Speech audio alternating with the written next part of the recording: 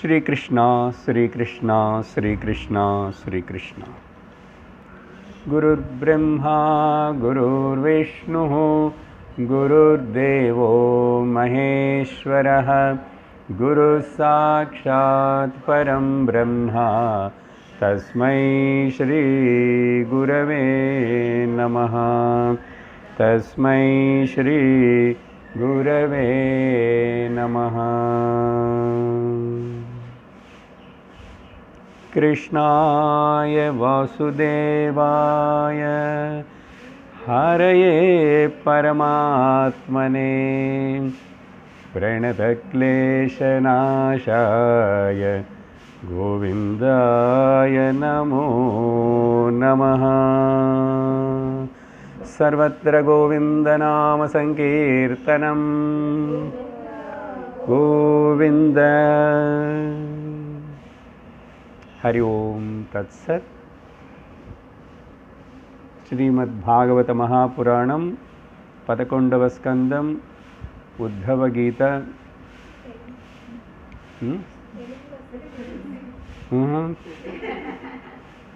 తెలుగులో మాట్లాడతాం కదా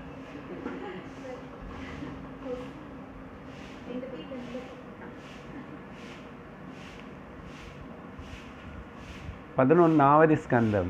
உத்தவகீத இருபத்தி நாலாவது அத்தியாயம் ஸ்ரீ ஏழாவது ஸ்லோகம் ஸ்ரீ சுக உவாச்ச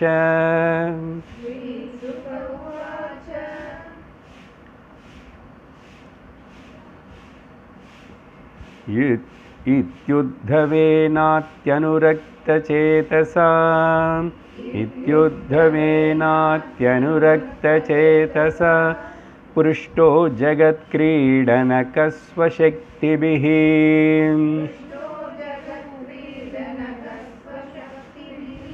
गृहीतमूर्तित्रय ईश्वरीश् गु- गृहीतमूर्तित्रय ईश्वरेश्वरो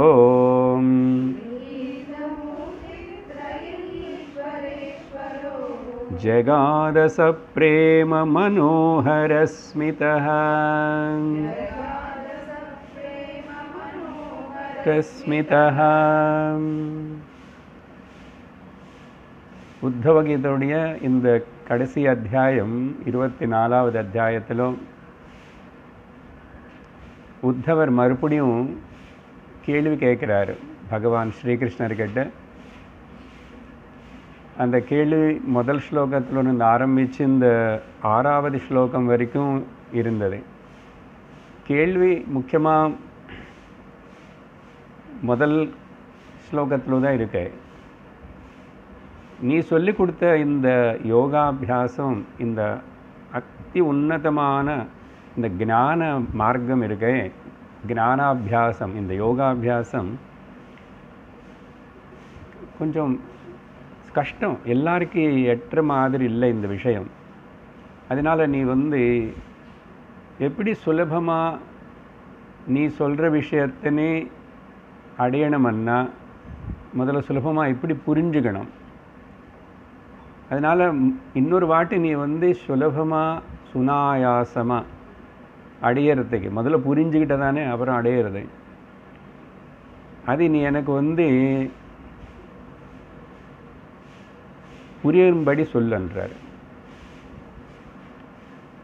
அப்படின்னா இவ்வளோ கேட்டதுக்கப்புறம் அவருக்கு புரியலையா? அப்படின்னா இல்லை. எல்லாருக்கும் புரியணும்.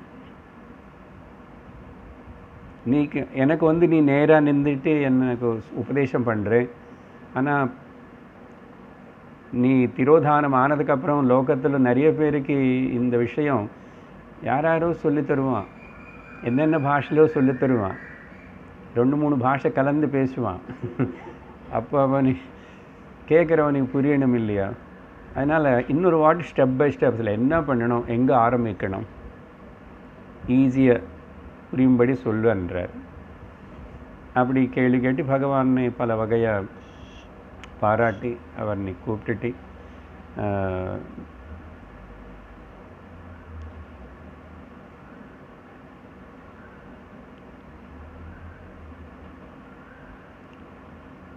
ஆறாவது ஸ்லோகத்தில் பார்த்த முக்கியமான விஷயம் வந்து நீது நீதான் உள்ள அந்தர்யாமியாக இருக்கு வெளியிலும் இருக்கு அந்தர்பகி அந்தர்பகிஷ்ச தத் சர்வம் வியாப்ய நாராயணஸ்திதா அப்படின்னு வேதம் சொல்கிறது ஆனால் அது புரியணும்னா அது உணரணும்னா நீ தான் வெளியில் எனக்கு நேராக வந்து ஒரு மனித ரூபத்தில் வந்து இப்படி பேசி சொல்லணும். அப்படி சொல்லி கொடுத்தா தான் புரியும். அதனால் அப்போது நீயே குருவாக வரணும். குருவாக வருவாய். குருவாய் வருவாய்.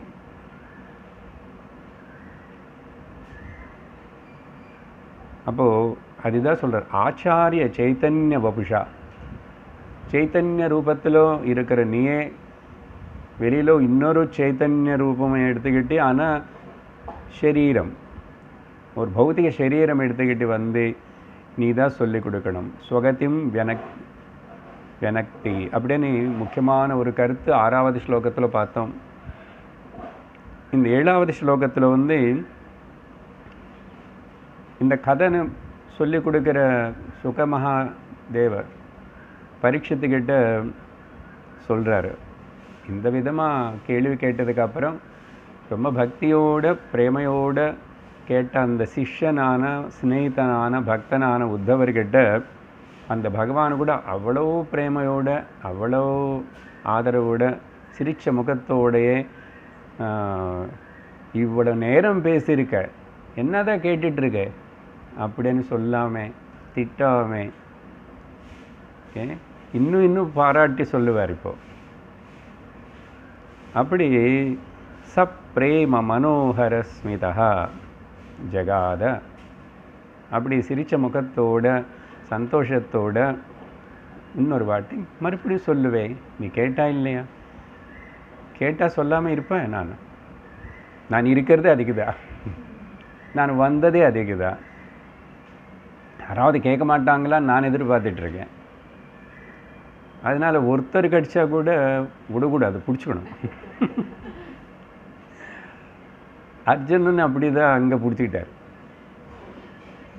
ஒருத்தர் கடிச்சா போதும் இப்போ பரவாயில்ல. ஏன்னா நான் பேசணும் பேசணும்னு ரொம்ப ரொம்ப நாளில் நினச்சிக்கிட்டேன் உள்ளே அப்படியே அடித்து வச்சிருக்கேன். எப்போ ஒருத்தர் தான் காணப்படுவான் கேட்பான். பாப்பா பகவானுக்கு பாருங்க எவ்வளோ டென்ஷனு உள்ளே வச்சிருக்காரு சொல்லணும் அள்ளி அள்ளி கொடுக்கணும் எல்லாருக்கானே யாரும் வாங்குறதுக்கு ஆள் இல்லை. ஓகே அப்படிதான் எல்லா மகாத்மருடைய கதை லோகத்தில். அதனால் அப்பப்போ பாடுவாங்க அந்த கவலனை பாடுவாங்க. அந்த வல்லாறு வல்லல்லாறு பாடினாராமா? ஓகே ஒரு காக்கா கூட ஒன்று கடித்ததுன்னா அது எங்கே ஒரு ஆரம் கத்தும். கத்துன்னு எல்லாரும் கூப்பிடும். ஆனால் இங்கே கூப்பிட்டு எல்லாருக்கும் பரிமாறி கொடுக்கணும்னு நினைக்கிறேன். வாங்கிறதுக்கு ஒரு ஆள் கூட இல்லையன்னார் அப்போது பகவான் பேசுகிறாரு எட்டாவது ஸ்லோகத்தில் ஒன்று வந்து இன்றைக்கி பார்க்குறோம். ஸ்ரீ பகவானுவாச்ச हन्त ते कथयिष्यामि। मम धर्मान् सुमङ्गलान्। यान् श्रद्धया चरन् मर्त्यः। तया चरन् मर्त्यः। मृत्युं जयति दुर्जयम् ஸ்ரீ பகவானு வாச்ச பகவான் கிருஷ்ணர் உத்தவர்கிட்ட இப்படி பேச தொடங்கினார் முதல்ல வந்து ஹந்த வெரி நைஸ் பாருங்க சம்ஸ்கிருதத்தில் ஹந்தன்னா wonderful very good very good பேஷ் பேஷ் அப்படின்னு சொல்கிற மாதிரி ஓகே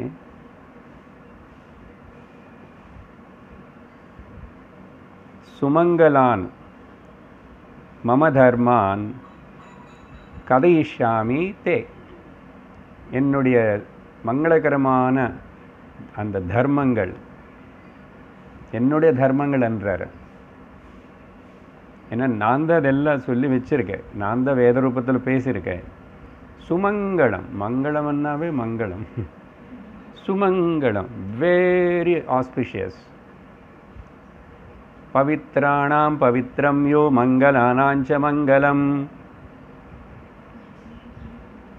ஓகே எல்லாம் சூப்பர் ரிலேட்டட் டிகிரிஸ் அதனால் பகவான் வந்து சுமங்கலான். வெரி வெரி ஆஸ்பிஷியஸ் இன்னொன்று ஏதாவது மங்களகரமானது சுபமானது அப்படி ஏதாவது இருக்கும்னு வேறு ஒன்றும் கிடையாது. இந்த என்னுடைய தர்மங்கள் தான். மம தர்மான். சொல்லி தருவேன். கதையிஷாமி.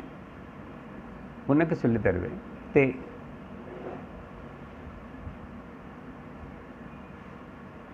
ஏன் சுமங்கல தர்மான்னு தெரியுமா? ஏன் அப்படி நானே பாராட்டி என்னோட தர்மங்களை நானே பாராட்டுறேன்னு? அது என்னோட தர்மம் இல்லை. அதுதான் தர்மம். என்னுடைய உன்னுடையது கிடையாது அங்கே சத்தியம் என்பது ஒன்று பிரம்மம் என்பது ஒன்று அதோடைய தர்மம் அஜாதி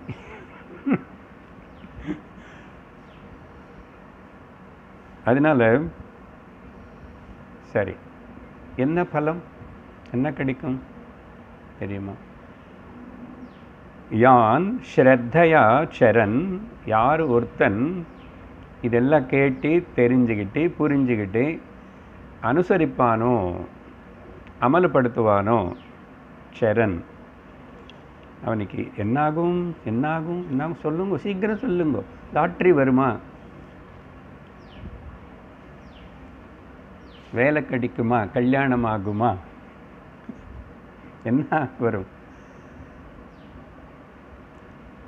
மர்த்தியா மரண சுவாவம் இருக்கிற இந்த மனுஷன் இருக்கானே. சரீரத்துக்குள்ள வந்த ஒரு ஒரு சரீரத்தை தரிச்சிருக்கிற ஒரு ஒரு மனிதன். இருக்குல்ல? இது இவனுக்கு மத்திய சுவாவம் மத்தியன மரணசீலன். ஜாதஸ்ய ஹி த்ருவோ மிருத்யு த்ருவம் ஜன்ம மிருதஸ்ய ச. பிறந்தாச்சன்னா இறந்து போகணும் சரீரம் வந்துச்சு சரீரம் போகும். ஆனால் சரீரம் யாருக்கு வந்துச்சு? சரீரத்துக்கு சரீரம் வந்ததா?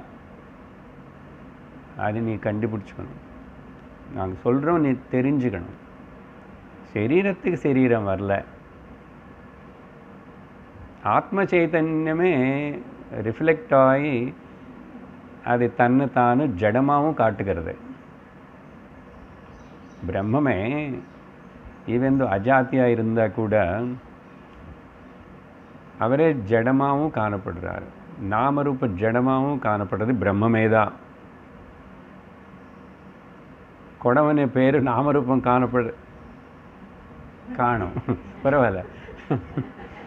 நான் குடமாக நாமரூபமாக காணப்பட்ட குடமும் மண்ணு தானே அப்படிதான் பிரம்மமே தான் இது பிரம்மம் அது பிரம்மம் எல்லாமே சர்வம் பிரம்மமயம். ரே ரே சர்வம் பிரம்மமயம். அதனால் சதாசிவ பிரம்மேந்தர் கேட்குறாரு யாருக்கிட்ட என்ன சொல்லணும்? யாருக்கிட்ட என்ன சொல்லக்கூடாது? இப்படி பாடுவார் மூணு வரி இப்போ பேராகிராஃப்ஸ் எது பேசணும்? எது பேசக்கூடாது? ஏன்? சர்வதர்மான் பரித்தெஜ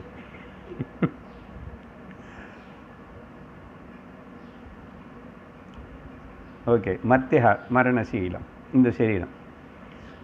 அப்படி இருந்தால் கூட இந்த இந்த மரணம் வரக்கூடாது இந்த சரீரத்துக்கு.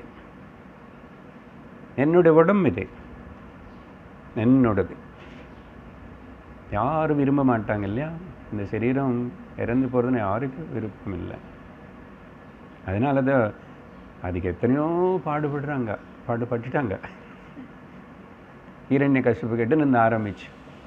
அப்புறம் இப்போ இப்போ காயக்கல்பம் பண்ணவங்கள் எல்லாரும். நடுவில் அவர் சாங் சாங்கதேவ் மகாராஜ். உதாரணத்துக்கு எத்தனையோ பேர் இருப்பான் இப்படி. ஆனால் யாருமே அந்த சரீரத்தினை அப்படியே வச்சுக்க முடியல.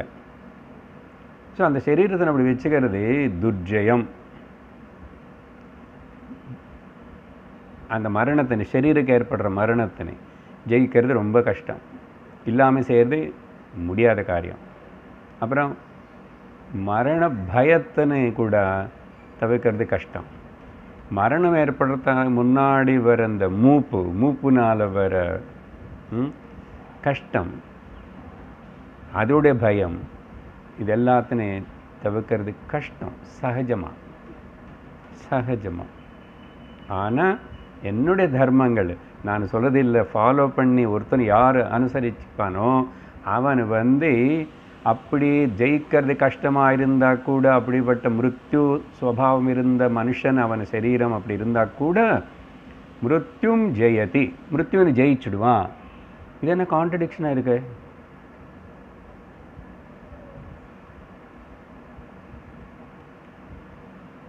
கஷ்டசாத்தியமான இங்கே. அப்போ என்ன புரிஞ்சுக்கணும்? மிருத்யும் ஜெயது என்ன? மறுபடியும் I will reverse back that statements என்னது? முதல் விஷயம் நானும் சரீரம் இல்லை. அதனால எனக்கு மு மு- மிருத்யு இல்லை. ஏன்? எனக்கு பிறப்பு இல்லை. அப்போ பிறந்து மரண சுபாவம் இருக்கிற அந்த சரீரம் போகும். ஆனால் நான் என்ன நான் உணர்ந்தேன் நானும் மரண சுபாவம் இல்லாத பிறப்பில்லாத பிரம்மமனை அதுக்கு பேர் தான் மிருத்யுன்னு ஜெயிக்கிறதுன்னா. வேறு எங்கேயுமே கிடையாது யாருக்கும் கிடையாது. பகவானே அவதாரம் எடுத்துகிட்டு வந்து கூட ஓகே மாயாமானுஷ வேஷதாரி அப்படி இப்படி சொல்லி திவ்யமங்கள விக்கிரகம் சைத்தன்ய வபுகு சரி சைத்தன்யம் வபு அது அப்படியே காணப்பட வேண்டியது தானே? இத்தனை பேர் நம்ம இது உட்கார்ந்து அவருக்காக பாடுறோம் இல்லையா? எத்தனை பாட்டு பாடியிருக்கேன்?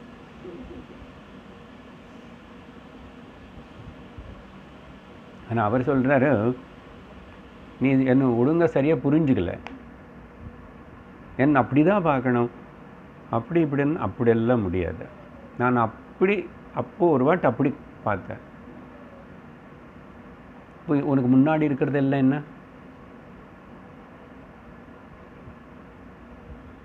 இல்லைன்னா நீ யாரு? ஸோ அது தெரிஞ்சுக்கோ. அதனால் என்னை பார்க்க முடியல நான் காணும் உனக்கு. அப்படியெல்லாம் ஏமாந்து போகாது. அபி அவித்யா அதெல்லாம் அக்ஞானம். அதனால் மரணம் இல்லைன்னது உணருது மிருத்யும் ஜெயத்து என்ன? எனக்கு மரணம் இல்லைன்னு தெரிஞ்சுக்கிறது தான் மிருத்யுன்னு ஜெயிக்கிறது. மிருத்யுன்னு ஜெயிச்ச அந்த பக்த மார்க்கண்டேன்னு பற்றி சொன்னால் கூட அவர் வந்து கண்ணுக்கு தெரியாத வேற ஏதாவது ஆதிவாகிக தேகத்தில் இருந்தால் கூட சிரஞ்சீவி என்ன எவ்வளோ நாளைக்கு அப்போ பகவானுக்கும் மரணம் இல்லை இல்லையா? அப்போ மார்க்கண்டேனுக்கு மரணம் இல்லைன்னு அப்புறம் என்ன? அங்கே ஒருத்தர் இருக்கார் இவன் இங்கே ஒருத்தர் இருக்காரு அப்படி ஆகிடுமே ரெண்டாகுமே. இப்போ அவருக்கு மரணம் இல்லை இவருக்கு மரணம் இவர் அவர் அப்போ? அதனால் இந்த இன்னொருத்தர் யார் இருக்க முடியாது அப்படி சரீரம். ஒரு கல்ப காலம் ஒரு குறிப்பிட்ட lengthy of period of time தான். அதே நம்ம பா நம்ம பார்க்க முடியல. புராணங்கள் சொல்லி சாஸ்திரம். ஸோ மொத்தத்தில் இங்கே பகவான் என்ன சொல்கிறாருன்னா மரண பயம் போகும். உனக்கு மரணம் இல்லைன்னு தெரிஞ்சுக்குவாய். அதுக்கப்புறம் இந்த உபாதி சரீரத்துக்கு வர என்னென்ன அதுக்கு வரணுமோ அதெல்லாம் வரும். ஆனால் அது எல்லாமே நீ வந்து அப்படியே கிரேஸ்ஃபுல்லாக அதாவது நான் அப்படி பார்ப்பேன். அதுக்கு உனக்கு சம்பந்தம் இல்லை. அது பிரகிருதியில் மாயில் ஒரு தோற்றம். அப்படின்னு சொல்லிட்டு டிஸ்க்ளைம் பண்ணுவேன். அப்படி பண்ணுறது தான் மிருத்யும் ஜெயதி. சரியா? அதனால் யாருமே சரீரத்தில் வந்து மிருத்யுன்னு ஜெயிச்சானது யாரும் கிடையாது. அது இம்பாசிபிள் இயற்கைக்கு நியத்திக்கு எகனெஸ்ட் அது. ஆகாது. அப்படி எனக்கு முதல். ஸோ ஃபாலோ பண்ணணும் அது எனக்கு வந்து பலம் அனேது மோட்சமனோ இல்லை வேறு ஏதாவது அப்படி சொல்லாமல் ஜீவன் முக்தன் அப்படியெல்லாம் சொல்லாமல் பெரிய பெரிய வேதாந்த பதங்களை உபயோகப்படுத்தாமல்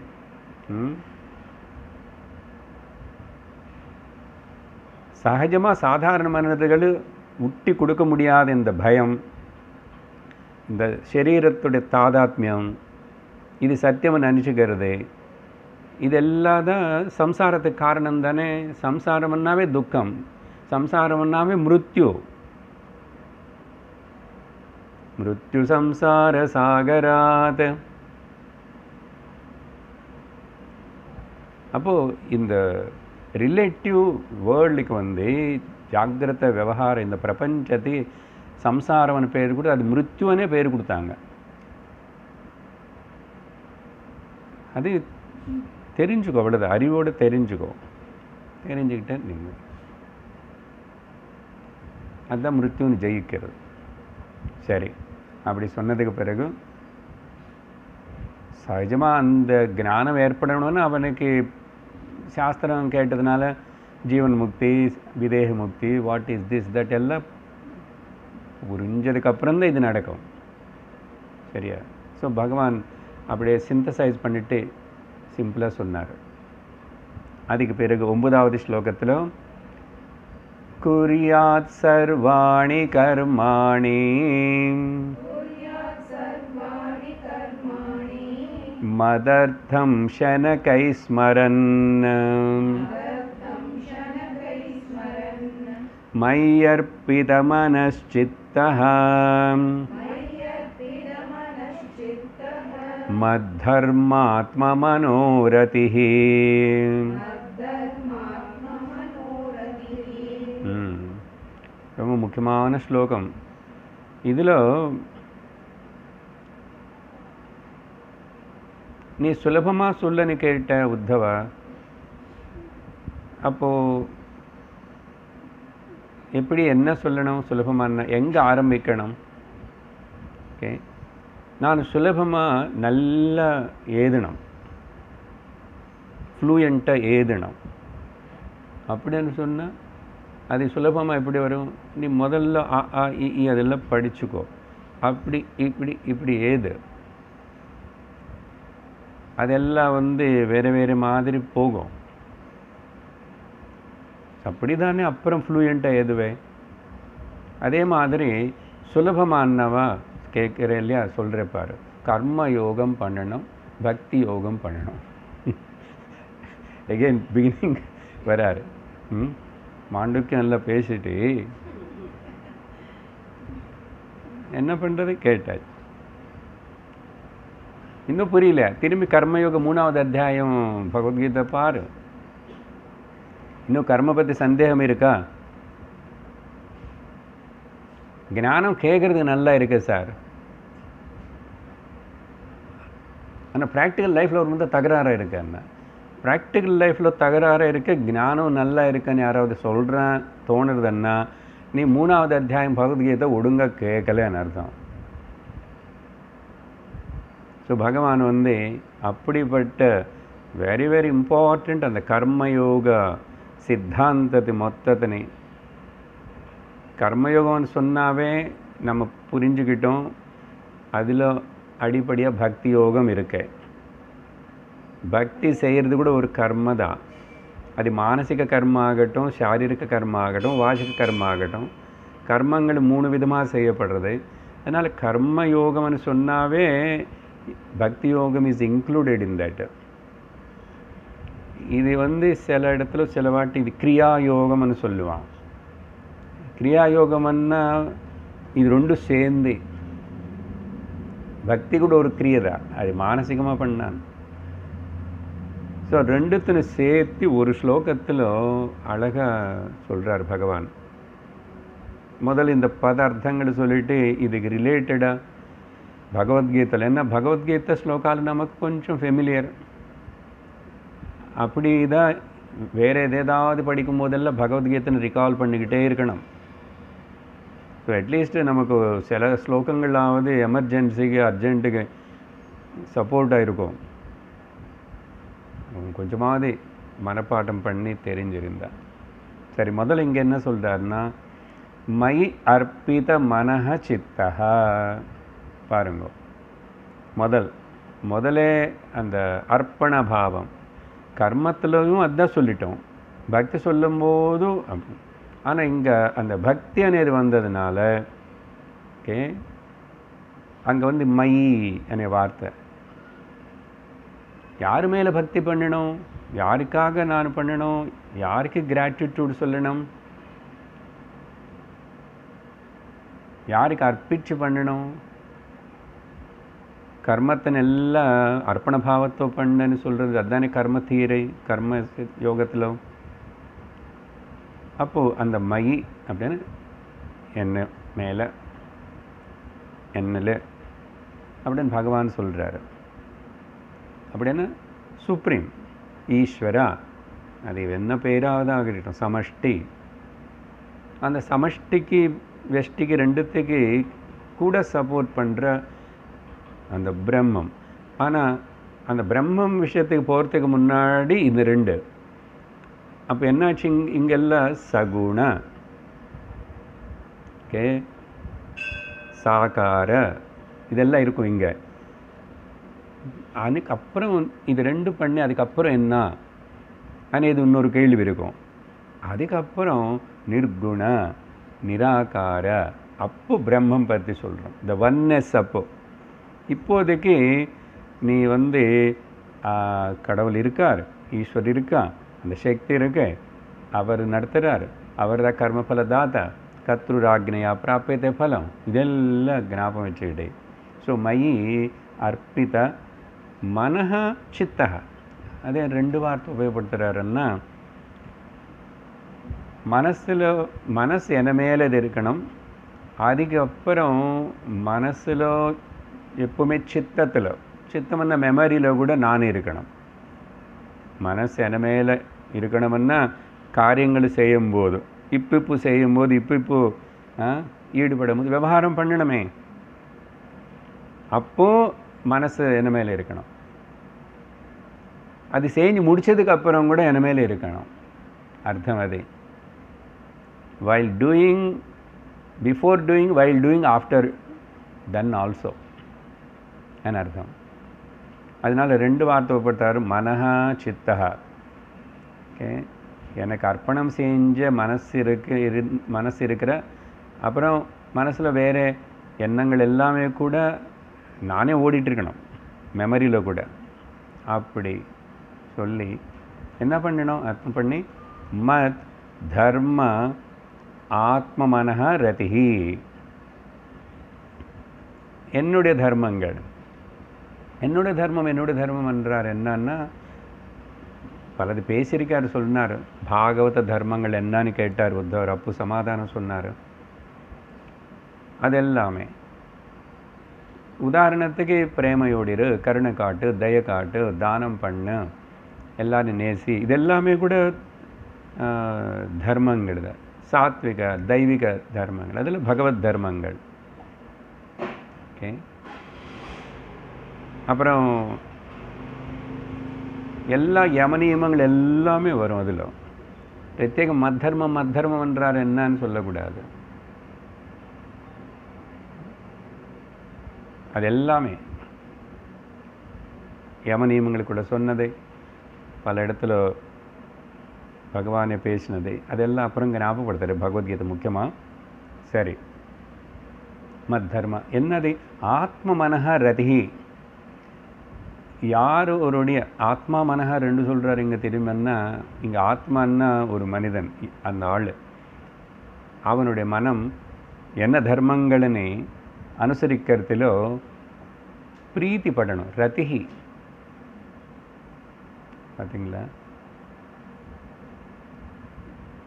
டு கல்டிவேட் த தைவி குணாஸ் அதுக்கப்புறம் அது அனு அமல்படுத்துறதுக்கு எல்லாத்துக்கும் முதல்ல ஆசை இருக்கணும்.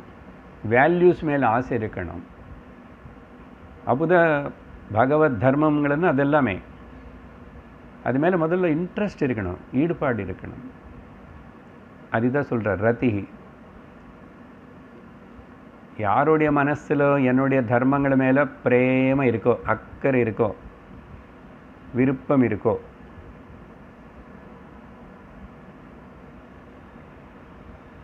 அந்த உள்ள கமிட்மெண்ட் அது. வேறு சொன்ன ஸ்ரத்தா. கமிட்மெண்ட் பக்தி ஸ்ரத்தா. யாருக்கு இருக்குமோ? அப்படி இருந் இரு அப்படி இருந்து யாருக்கு இருக்கும் இல்லை அப்படி இருந்து எல்லாமே அப்படி இருந்து இதெல்லாம் இருக்கணும். இப்படி இருந்து என்ன பண்ண ஸ்மரன் என்னே ஸ்மரிச்சுட்டு இருக்கணும். ஓகே அர்ப்பித மனச்சித்தான்னு அப்பவே சொல்லிட்டாரு ஸ்மரிக்கணும். அதே நினச்சிட்டு இருக்கணும். இப்படி முள்ளமாக ஸ்லோலி ஷனகைஹி. இங்கே பகவத்கீதை ஸ்லோகம் இப்போவே ஞாபகப்படுத்துறார் இந்த வார்த்தைக்கு மட்டும். சொல்லுங்க शनै शनैरुपरमेत् बुद्ध्या धृतिगृहीतया आत्मसंस्थं मनः कृत्वा न किञ्चिदपि चिन्तयेत् शनै शनै மாற்றமே ஞாபகம் இருக்கு அதுக்கப்புறம் ந கிஞ்சிதபி ஞாபகம் இல்லை பரவாயில்ல பரவாயில்ல கொஞ்சமாக அதுக்கு ஞாபகம் இருக்குது அதே பெரிய விஷயம்.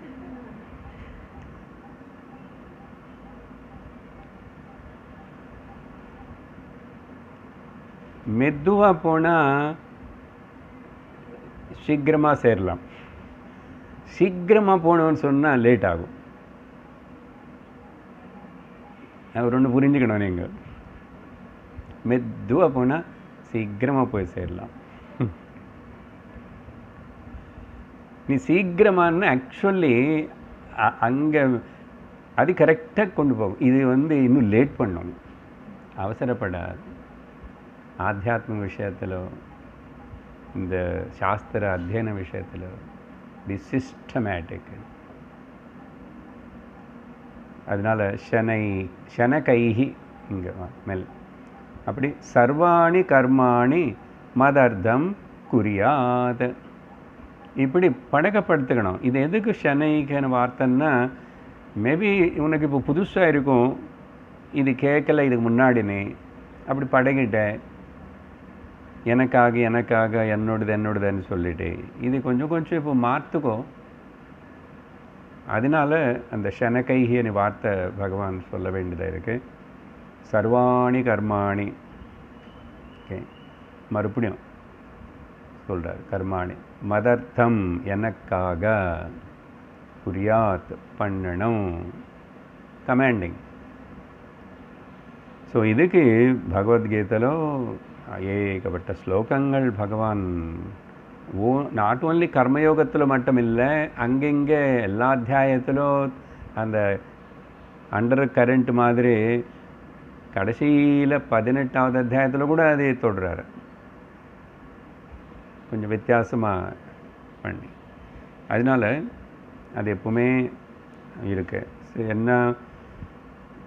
முதல் ரெண்டாவது அத்தியாயத்தில் தொடங்கும்போது சொன்ன ஒரு முக்கியமான ஸ்லோகம் கர்மண்யேவாதிகாரஸ்தே மா ஃபலேஷு கதாச்சன மா கர்ம ஃபலஹேதுர்பூ மா தே சங்கோஸ்வ கர்மணி. இந்த ஸ்லோகமாவது தெரிஞ்சிருக்கணும் நல்ல. மகாபாரதம் சீரியல் வந்ததுனால.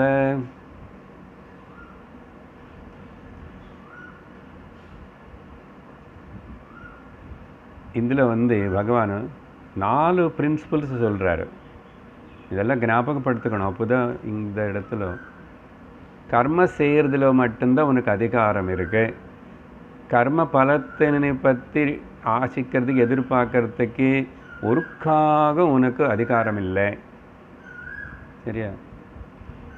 அப்புறம் கர்ம பலத்துக்கு நீ காரணம் ஆகாது அப்படின்னு சொல்லிட்டு கர்ம செய்யாமல் இருக்காது. அப்படின்னு சொல்லி அதுக்கப்புறம் அதுக்கு கிளாரிஃபிகேஷன் கொஞ்சம் கிளாரிட்டி கொடுக்கறதுக்கு பகவான் அடு அங்கே ரெண்டாவது அத்தியாயத்தில் அடுத்த ஸ்லோகத்தில் योगस्तः कुरु சங்கம் सङ्गं त्यक्त्वा धनञ्जय सिद्ध्यसिद्ध्यो समो भूत्वा समत्वं योग उच्यते யோகா அனை பதத்தை அங்கே கொண்டு வந்தார். இந்த யோகா அனை பதத்துக்கு அர்த்தம் கொடுக்குறாரு. யோகா பதத்தின் எது கொண்டு வந்தார்? நான் மேலே சொன்ன இந்த நாலு இருக்கே அந்த கருத்துக்களை வந்து அதெல்லாம் சேர்ந்து தான் கர்ம யோகம் அதனால் இங்கே கர்மயோகனே வார்த்தை உபயோகப்படுத்தாமல் யோகஸ்தக. இது மையமாக வச்சுக்கிட்டு இது கடைப்பிடிச்சிக்கோ பிடிச்சிட்டு அப்புறம் பண்ணு. அப்போ யோகச குரு கர்மாணி. சங்கம் தெக்துவா அது அப்படி பண்ணால்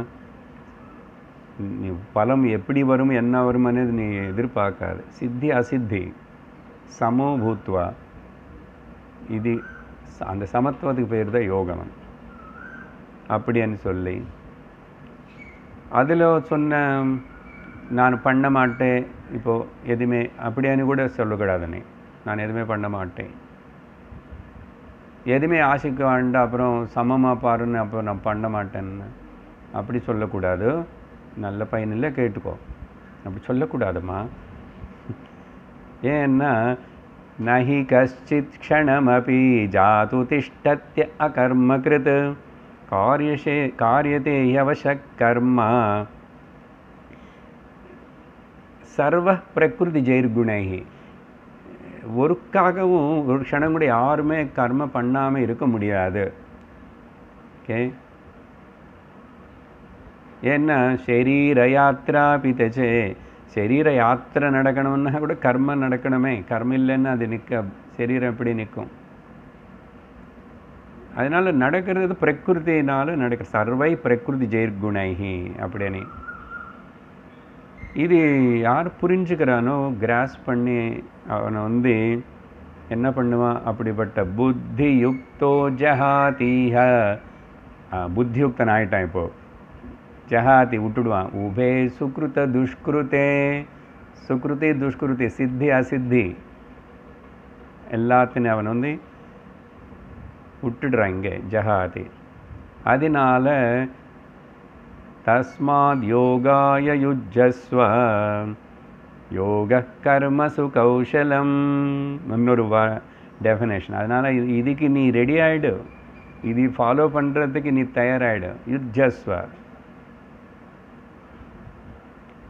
அது பண்ணால் அதுதான் ஸ்கில் இன் ஆக்ஷன் யோகஸ்த குரு கர்மாணி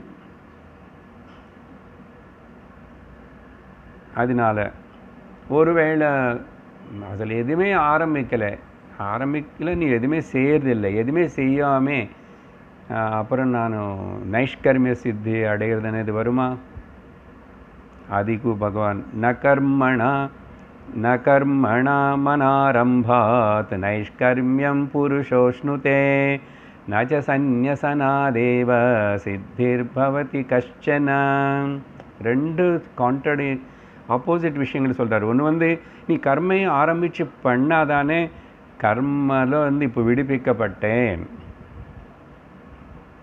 நீ வளரணும்னா சரீரத்தில் வெளியே வரணும்னா முதல்ல அம்மாவுடைய கர்ப்பத்தில் இருக்கணும். இருந்ததுக்கப்புறம் நீ பிறப்பை வந்துடுவேன் கர்மத்தில் இருந்து கர்மத்திலேருந்து வெளியே போய் வரணும் அனகர்மனான ஆரம்பாத் நைஷ்கர்மியம் ஒருத்தனுக்கு கடிக்காது. அப்புறம் அப்புறம் அது திரும்பி கர்மத்தின் சந்நியாசம் பண்ணாமே ஒருத்தனு கூட அந்த நைஷ்கர்ம சித்தனேது வராது. ரெண்டு சொல்கிறார் நகி சந்நியசனாத் ஏவ சித்திம்னா அதிகச்சதை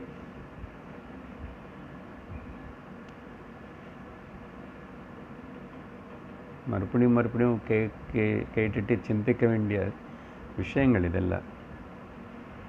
இப்படி சொல்லிட்டே போகலாம் அது உனக்கு ஏதாவது சந்தேகம் இருந்தால் நான் எக்ஸாம்பிள் கொடுக்குறேன்னு அப்போ அது கூட கர்மணைவ வகிசம் சம்சித்திம் ஆஸ்திதா ஜனகாதய ஜனகரு முதலானவங்க எல்லாரும் கர்மயோகத்தில் இருந்தே பெரிய பெரிய காரியங்களை ராஜ்யபரணம் பண்ணிட்டே கூட அவங்க வந்து லோக சங்கிரகமே வாபி அவங்க அப்படி இருந்துட்டு சம்பஷன் கர்த்தும் அருகசி இந்த சரீரத்தினால லோகத்தில் என்ன நடக்கணுமோ செய்யணுமோ செய்ய தர்மமாக செய் தார்மீக செய் அதே சமயத்தில் ஞானத்தோடு இருந்து பண்ணும்.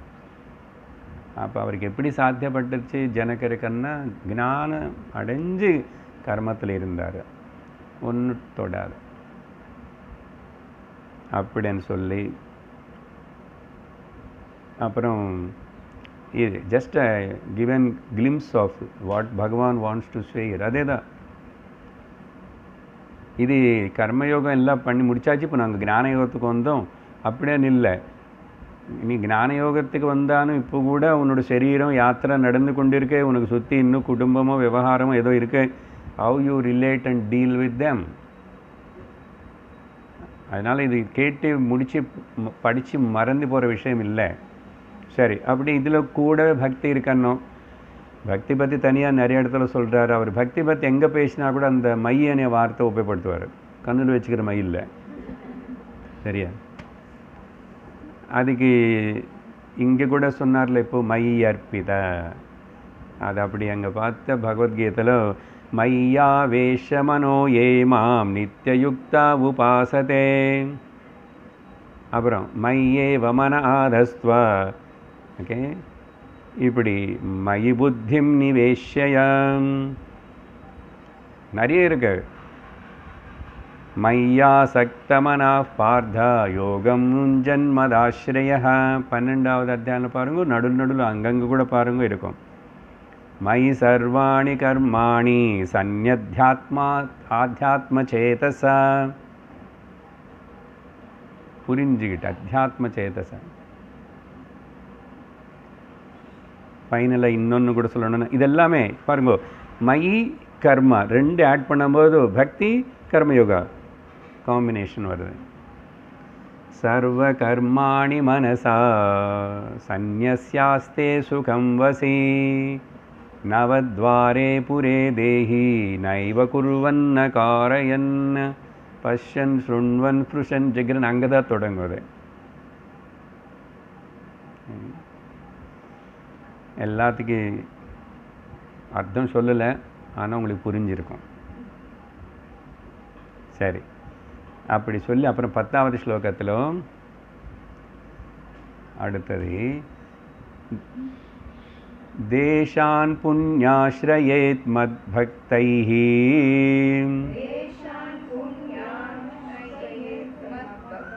பக்தைः தேசான் புண்ணியாஸ்ரயேத் மத் பக்தைः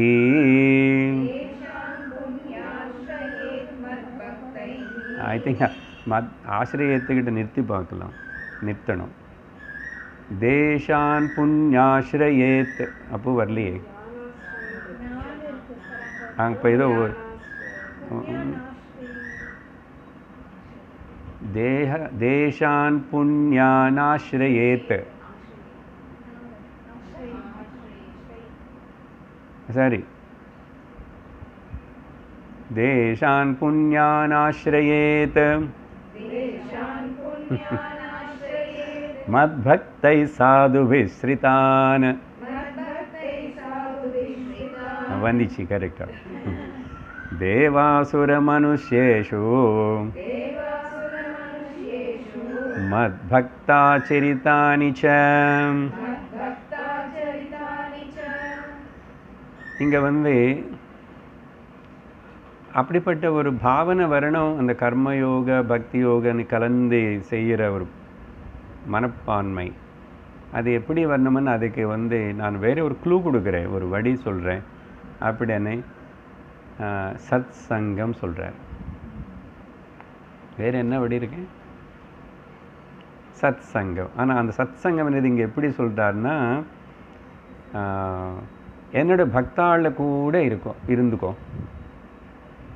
என்னை பக்தாள் நிவசிக்கிற அந்தந்த ஸ்தானத்தில் இருந்துக்கோ. இல்லை போய் தரிசனம் பண்ணிட்டு வா. ஓகே?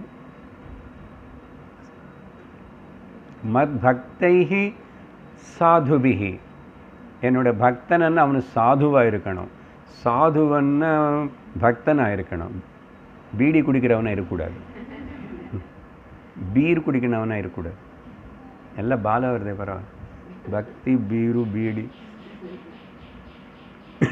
ஒரு பீடி கம்பெனிக்கு பேர் இருந்துச்சு. இப்போ இருக்கோ இல்லை தெரியல. சாது பீடி. நான் சின்ன வயசில் பார்த்தேன். ம். அப்படின்னு அது மேலே ஒரு பொம்மை கூட போடுவான். அந்த ஒரு ஒரு டைப் ஆஃப் சாது. தாடி நான் எனக்கு இப்போ ஞாபகம் இருக்குது தெரியல அவன் எதுக்கு வச்சானோ. கம்பெனி வச்சவன் சாது. ஸோ மத்பக்தைஹி சாதுபிஹி. இங்கே சாதுபின சஜ்ஜனர்களோட.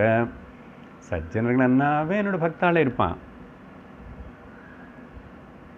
பக்தனு சஜ்ஜனாக இருப்பான் சஜ்ஜனு பக்தனாக இருப்பான். அப்போ எதுக்கு ரெண்டு பதம்னா புரிஞ்சுக்கிறது? பக்தனன்னா சஜ்ஜனனாக இருக்கணும். நீ சும்மா காட்டுகிற பக்தி ஷோ ஆஃப் பக்தி இல்லை. சஜ்ஜனன் என்ன சார்னா சாஃப்டாக பேசுவியா முதல்ல? யார் மேலே பொறாமைப்படாமல் இருப்பியா? கம்ப்ளைண்ட் பண்ணாமல் இருப்பியா? சஜ்ஜன சாதுவி ஸ்ரீதான் அவங்களை ஆசிரிச்சு அப்புறம் அவங்கள் இருக்கிற அவங்கள் இருந்து விட்டுட்டு போன இல்லை அவ- அவங்க எல்லாரும் வந்து தரிசித்து பார்க்குற அவங்க வந்து குளிக்கிற அந்தந்த தீர்த்த க்ஷேத்திரங்கள் எல்லாத்தையும் போன்றார். அப்படின்னா தீர்த்த க்ஷேத்திரங்களுக்கு போகிறது அது எல்லாமே ரொம்ப முக்கியம். சாதனா முதல் படியில் அட்லீஸ்ட்டு அப்புறம் போகக்கூடாதான்னு கிடையாது. அப்புறம் அப்புறம் போனால் இன்னும் பாவனை வேறே மாதிரி இருக்கும். நம்மளுடைய கண்ணோட்டமே வேறே மாதிரி இருக்கும். பாரத் தர்ஷன் பாரத தேசத்தோட வைபவம். இந்த இதெல்லாம் பார்க்கறதுக்கு பல இடத்துக்கு போகணும் பல வகையானவங்க. எல்லாரும் இந்த பக்தி கர்மா இந்த ஞானம் இப்படி எல்லாம் இதை ஈடுபடுறாங்க அவங்கவங்க. இத்தனை வெரைட்டிஸ் இருக்கேன்னு சொல்லிட்டு அந்த டைவர்சிட்டி பார்த்து ஆனந்தப்படணும். எல்லாத்துக்கும் அந்த ஆத்தியாத்மிக கரண்ட்டு அந்த ராமாயணம் பாரதம் பாகவதங்கள் இதெல்லாம் தான் இன்னர் கரண்ட் பாஷை எது பேசினா கூடான்னு அந்த அதனால் தீர்த்த யாத்திரைகளுக்கு போகும்போது என்ன ஆகும்னா கண்டிப்பாக சில கஷ்டங்கள் இருக்கும். நம்ம வீட்டில் இருக்கிற மாதிரி கம்ஃபர்ட்டாக இருக்கும். ஆனால் நம்ம கம்ஃபர்ட் ஏற்பாடு பண்ணிக்கிட்டு போகிறோம் கம்ஃபர்ட்டான இடம் இருக்கா? அங்கே நல்ல ரூம்ஸ் கிடைக்குமா? டீலக்ஸ் ரூம்ஸ் கிடைக்குமா? வசத்து எப்படி இருக்குது அப்படி இருக்கேன்னு போவோம். சாதாரணமாக எல்லாரும் அப்படி தான் போவான் ஆனால் சாதகன் உண்மையான சாதகன் அப்படி இல்லை இருக்கக்கூடாது. அப்படின்னு சொல்லிட்டு ரோட்டு மேலே படுத்துக்கிட்டு கஷ்டமும் பட வேண்டியதில்லை. பட்டு மனசு அதில் போடாத. அங்கே போனதுக்கப்புறம் இங்கே கேம்பில் உங்கள் ரூமில் தெரியல. அதுக்கப்புறம் யூத் கேம்ப் வரும்போது அந்த ரூம்ஸ் அப்போ தான் அப்போ தான் ரெடி பண்ணி வச்சுட்டாங்க. ரூம் ஃபுல்லாக மேலே எங்கே பார்த்தா எனக்கு காக்ரோச்சு எப்படி இருக்கும்? பாப்போம். தூங்கவே இல்லைம்மா குழந்தைகள். அது வேறு கேர்ள்ஸு ரூமில் அஞ்சாறு பேர் பெரிய இது இது காட்டேஜ் நான் தூ- தூங்கவே இல்லை. அது எப்படியோ வந்து அங்கங்கே இருக்கேன் உடனே எங்கே போகும்? அது அப்படி ரூஃப் கொட்டி அங்கே இருக்கு. அடுத்த நாள் ஏதோ பண்ணிட்டாங்க. சரி. ஸோ இந்த மாதிரி ஏதோ இருக்கும்.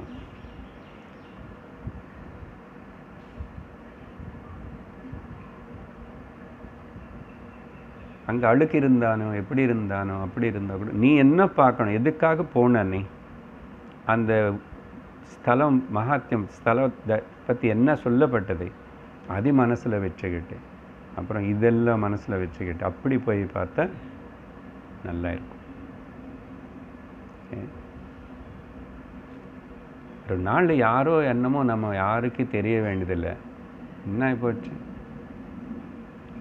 அங்கே அப்படியே கோவில்ல பிரசாதம் கொடுப்பாங்க. பெரிய பெரிய கோவில் என்ன அன்னதானம் பண்ணுறாங்க சத்திரம் இருக்குது யாருக்கு எதுவுமே சொல்லிக்காம தெரியாமல் அப்படி இருந்துக்கும் எத்தனை பேர் இருப்பான். அப்போ அது சாதனை.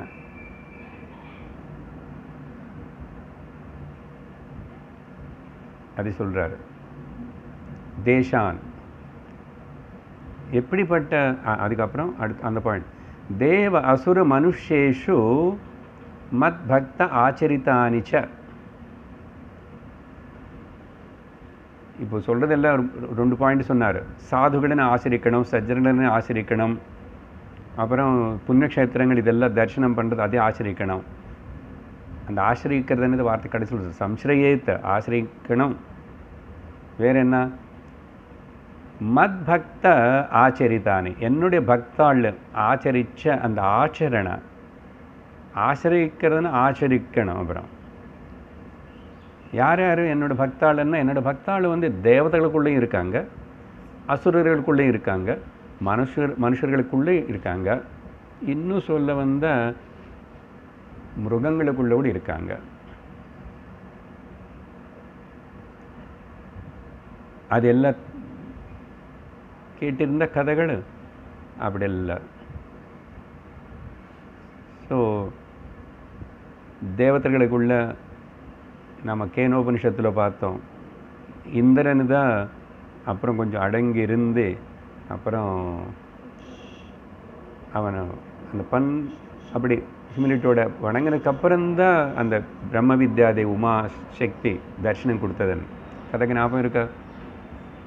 ஸோ வேறு அப்படி இல்லை தேவ லோகத்தில் இருக்கிற மகர்ஷிகள் தேவர்ஷி நாரதர் தும்புரர் எத்தனையோ பேர் இருக்காங்க அப்படி. இல்லை தேவலோகங்கள் அப்புறம் சித்த லோகங்கள் இருக்கிற இந்த மகர்ஷிகள் சப்த ரிஷிகள் அவங்க எல்லாரும் மேல லோகங்கள் இருக்கிறது தானே. அதனால் தேவதைக்குள்ள அஹ், ஆச்சரிச்சவங்க என்ன? தேவதைகள் எல்லாருமே சகஜமாக தெய்வீக குணங்களினால அதனால தான் அவங்களுக்கு ப்ராப்ளம் வரும்போதெல்லாம் பகவான் சப்போர்ட் பண்ணி எப்படியோ. இந்த சரணடைவாங்க. என்னை கெட்ட வருவாங்க. எங்களுக்கு முடியலன்னு சொல்லுவான் நீ இல்லைன்னா எங்களுக்கு சக்தி இங்கே இருக்க? ச அன்னி பிரார்த்தனை பண்ணுவாங்க எல்லா இடத்துல பார்த்தீங்களா ஸோ தேவதைகளை அப்புறம் அசுரர்களிலும் அசுர வம்சத்தில் பிறந்தையும் அப்படி இருக்கிறவர் நமக்கு டிப்பிக்கல் எக்ஸாம்பிள் நம்ம பக்த பிரகலாதனம் அப்படி.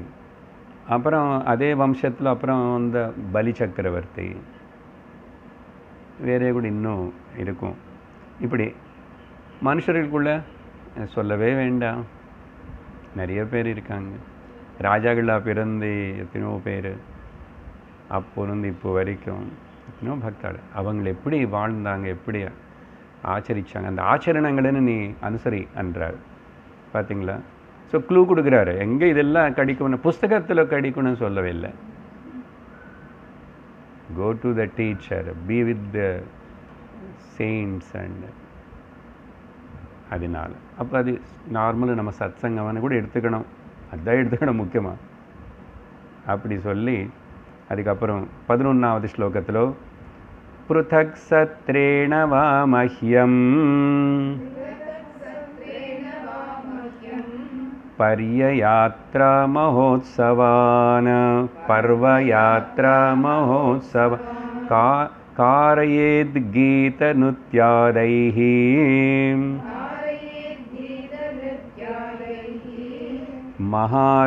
महाराजविभूतिभिः இது ஆக்சுவலாக ஒரு ஒரு படி கீழேக்கு வராரு முதல்ல தீம் சொல்லிட்டாரு த மெயின் ஸ்டார்டிங் பாயிண்ட் எங்கே ஆரம்பிக்கணும் எங்கே நான் முதல்ல நேராக பிரம்மம் அதெல்லாம் கஷ்டப்படாது. அவன் பார்ப்போம் ஸ்பேர் த பிரம்மன் ஓகே எனக்கு என்னுடைய கேஸ் ஸ்டவ் சார் பிரம்மன் அதுதான் அக்னி தேவதை. அது சின்ன இருக்கும் பாருங்க என பாடு. ஒன்றும் இல்லை பாடு. நல்லது. ரெண்டு நாள் கேஸ் வரமாட்டாங்குதுன்னா வாங்கிட்டு வாங்க போய் அருள் ஜோதியில் அன்னபூர்ணம் எடுத்துட்டான்னுக்கிற பக்கத்தில் இல்லை இப்போ. உங்களுக்கு எப்படி தெரியும் சார்? நான் போகல பார்த்தேன். அப்படி. இப்போ அப்படி ஜாலியாக இருக்கும் நினச்சி பாருங்க. அந்த காலத்தில் கிரோசின் மேலே ஆதாரப்பட்டிருக்கும் அந்த கிரோசின் தீர்ந்து போச்சுன்னா என்ன?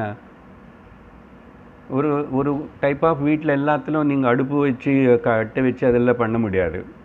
அதுக்கு தான் சமையல் ரூமே தனி இருக்கும். எங்கள் படிய முதல் வீட்டில் அப்படி இல்லை. சமையல் ரூம் அந்த காலத்தில் எப்படி பக்கத்தில் அப்படி உள் இருக்கும். என்னமோ தெரியல அது ஒட்டி கட்ட மாட்டாங்க அப்போ. இப்போ நம்ம பாத்ரூம் எல்லாம் கொண்டு வந்து உள்ளே வச்சுட்டோம். பாத்ரூம் அங்கெங்கோ வெளியில் போகணும். அங்கங்கே இருக்கும்? சரி. மெயின்லி டாய்லெட் பாத்ரூம் கொஞ்சம் சரி. ஆ அதனால் இங்கே அதுக்கு கொடுக்குறாரு. நம்ம ஆக்சுவலாக இது ஃபஸ்ட்டு ஸ்டெப்பாக எடுத்துக்கணும். எது இப்போ இந்த ஸ்லோகத்தினை பகவான் கொஞ்சம் டிசெண்டிங் ஆர்டரில் சொன்னார்.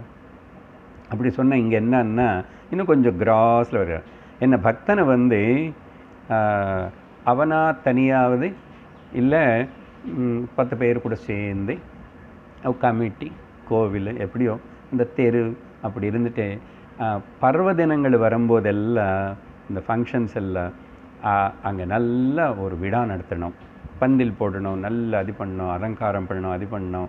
அப்புறம் நல்ல மகாராஜ விபூதின்னா அப்படிப்பட்ட ஒரு மேள தாளங்களோட அந்த பூஜா அதெல்லாம் கனமாக கம்பீரமாக நடத்திட்டு அப்புறம் ம சாயங்காலம் வேலத்தை காலையில் வேத கோஷம் எல்லாம் பண்ணி மத்தியானம் சாயங்காலத்துக்கு மேலே கொஞ்சம் நிருத்தியம் வாத்தியங்கள் பாடல் பஜனை கோஷ்டிகள் இதெல்லாம் நடத்தணுன்றார் அதுதான் பேசிக்கு ஒரு மனுஷனுக்கு கொஞ்சமாவது இந்த தர்மம் இதில் இருக்கணும்னா அதுதான் நடக்கிறது அதெல்லாம் நம்ம எப்ரிஷியேட் பண்ணணும். நிறைய பேர் அதெல்லாம் பண்ணுறதுனால தான் இன்னும் கூட ஹிந்துக்கள் கோவில்கள் ஆனால் பத்தில் பார்த்துட்டிங்களா? கோவில்கள் எல்லாத்தையும் உடைக்கிறதுக்கு கோவில் சொத்துன்னு விற்கிறதுக்கு சாப்பிட்றதுக்கு முயற்சி பண்ணுற கவர்மெண்ட் வந்துச்சு.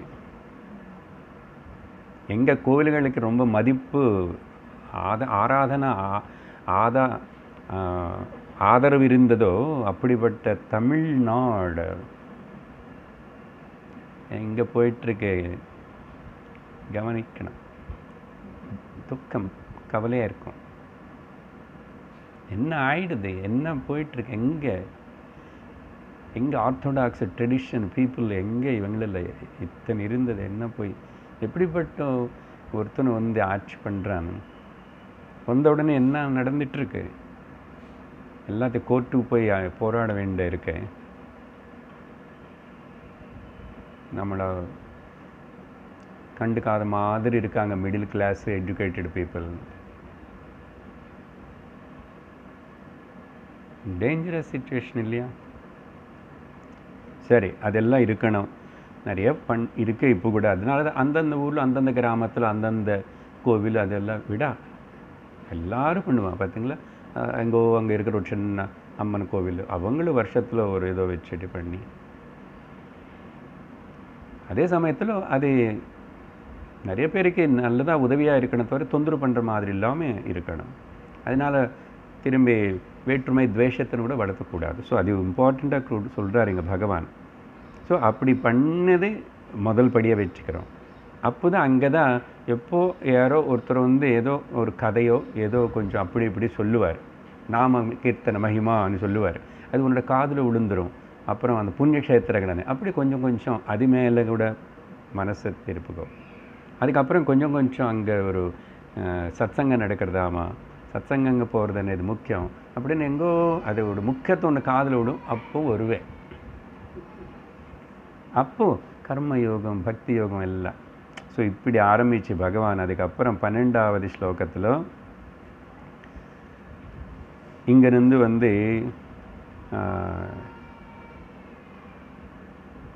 இப்போ மேலே நான் சொன்னதை ஆரம்பித்து எல்லாம் பாயிண்ட் வைஸாக போட்டுக்கிட்டாலும் கண்டினியூஷனாக வரும். மனசில் என்ன பாவனை பண்ணணும் சித்தத்தில் என்ன ஸ்மரிக்கணும் அப்புறம் என்ன தர்மங்கள் மேலே அன்பு இருக்கணும் ஓகே அப்புறம் என்னோட பக்தாளெல்லாம் அனுசரித்த ரீதியிலும் நீ அனுசரிக்கணும் இப்படி. என்னோடய ಭಕ್ತಾಳು சஜ்ஜனர்கள் ನಿಲ್ಕಿರೋ ஸ்தானங்களுக்கு போகணும் தீர்த்த ಕ್ಷೇತ್ರಗಳಿಗೆ போகணும் இப்போ பாயிண்டேஜை போட்டுட்டேன் அப்புறம் இந்த விடாவில் நடத்துறது.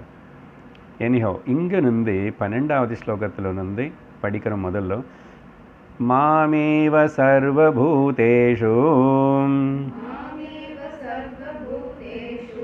பகிரந்தரபாவృతం ईक्षेतात्मनि चात्मानम् ईक्षेतात्मनि चात्मानम् यथा कमलमलाशयः यथा कमलमलाशयः ஓகே இங்கேருந்து ஆரம்பித்து ஒரு எட்டு ஸ்லோகங்கள் எட்டு ஸ்லோகங்கள் வந்து பகவான் வந்து சர்வத்திர சமதர்ஷனே இதுக்கு முக்கியத்துவம் கொடுக்குறார். த தீம் ஆஃப் தி வர எட்டு ஸ்லோகங்கள். ஏன் அவ்வளோ எம்ஃபசைஸ் பண்ணி பேசுகிறாரன்னு உங்களுக்கு ஒன்று ஒன்று பார்க்கும்போது தெரியும். பட் த டாக் எங்கே வேறு இடத்துல இத்தனை ஸ்லோகங்கள் அந்த சமதர்ஷனம் சர்வத்திர சமதர்ஷனம் அதுதான் சிறந்த உபாசனன்னு பேச போகிறாரு ஸோ இந்த ஸ்லோகத்தில் ஜஸ்ட் ஆரம்பிக்கிற இது மட்டும் அது அப்படியே ஒன்று ஒன்று ஒன்று பில்டப் ஆகும். எட்டு ஸ்லோகங்களும் அபவுட் தி சர்வத்திர சமதர்ஷனம் ஓகே அமலக ஆசைய யாருடைய மனசு கர்மயோக பக்தி யோக பண்ணி அதுக்கப்புறம் சித்தம் சுத்தி ஆகிடுதோ பார்த்தீங்களா எங்கே வராரு you have to see the the greatness and glory of the teacher teaching பகவான் எப்படி சப்ஜெக்ட்னு அப்படி இப்படி அது அப்படி நம்ம புரியறது கூட கஷ்டம்தான் இப்படி இருக்கே இதில் అనేది அது அது அது காட்டணும். அது காட்டினாதை தவிர அதர்வைஸ் வில் மிஸ் இட் அது அவருடைய அனுகிரகம். அமல ஆசைய சுத்தமான சித்தம் சித்த சுத்தி ஏற்பட்ட அப்படிப்பட்ட இவனை வந்து என்ன பண்ணும்? எப்படி கம் யதா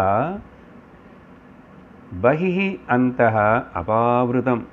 ஆகாயம் உள்ள வெளியிலனே ஒரு வேற்றுமை இல்லாமல் எங்கேயுமே மறக்கப்படாமே. அபாவிருத்தம். தத்துவம் பூஷன் அபாவிருணு. சத்யதர்மாய திருஷ்டயே. சரிங்க sir?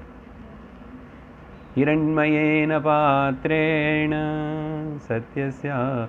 அபாவிருதம் removed the cover so ஆவரணம் இல்லாமல் இருக்கிற ஆகாயத்தினை யாராவது கவர் பண்ண முடியுமா? எங்காவது?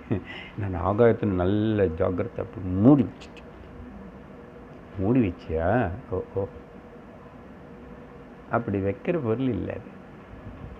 உள்ள ஆகாயம் இருக்கும். நீ எங்கெங்கே மூடுறியோ இப்படி மூணான் அப்படி மூடான் எப்படி மூடான் ஆகாயம் அதுதான் அந்தர் பகிஷ தத் சர்வம் வியாப்தனார அது இங்கே சொல்கிறார் அபாவிரதம் அது அந்த மாதிரி அந்த உதாரணம் ஆகாயம் அதே மாதிரி மாமேவ இந்த பிரம்மம் ஆத்மானதே என்ன? சர்வபூதேஷு எல்லா பிராணிகளுக்குள்ளேயும் அப்புறம்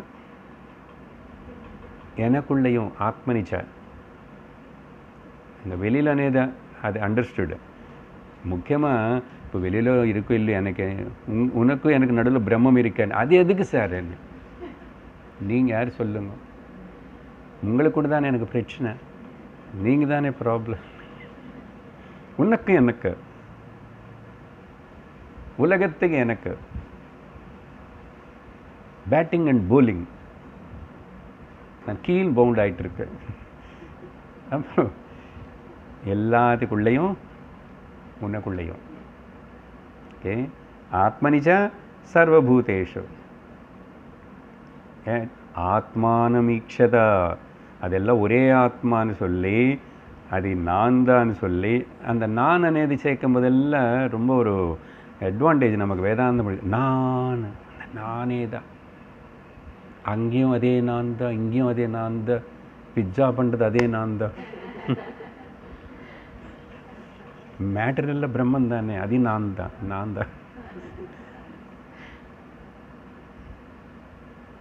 அப்படின்னு சொல்லி ஜஸ்ட் ஆரம்பிக்கிறாரு. இதுக்கு பகவத்கீதையிலோ அநேக ஸ்லோகங்கள் இருக்குது பார்ப்போம் இங்கே இவர் ரொம்ப எலாபரேட்டாக பேசுவார். அடுத்த வகுப்பிலோ அடுத்த ஸ்லோகங்கள். ஓம் நாம சங்கீர்த்தனம் எஸ்ய சர்வ பாப பிரணாசனம். प्रणामो दुःखशमनः तं नमामि हरिं परम्। ॐ शान्तिश्शान्तिश्शान्तिः हरिः ॐ श्रीगुरुभ्यो नमः। हरिः ॐ। हरि ओं तत्सत्।